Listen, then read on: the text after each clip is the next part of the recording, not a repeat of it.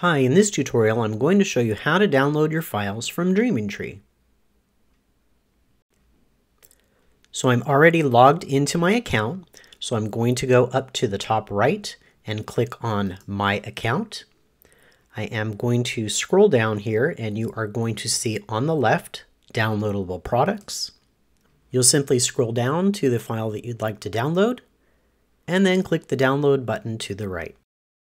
In addition, if you wanted to sort your downloads by order or date, you can go ahead to the left and click on Orders. And you will see that you have a different type of window that are listed by your order numbers. So my last order number was 403462, and that was on March 18th, 2022.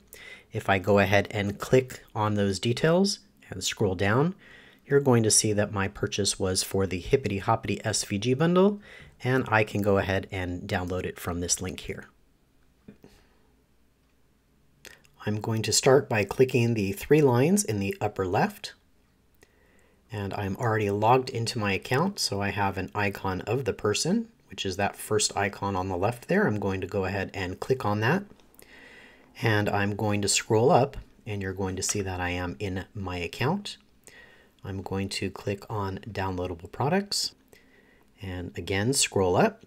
You're going to see now that you are in my account downloadable products and all of your products are listed there alphabetically.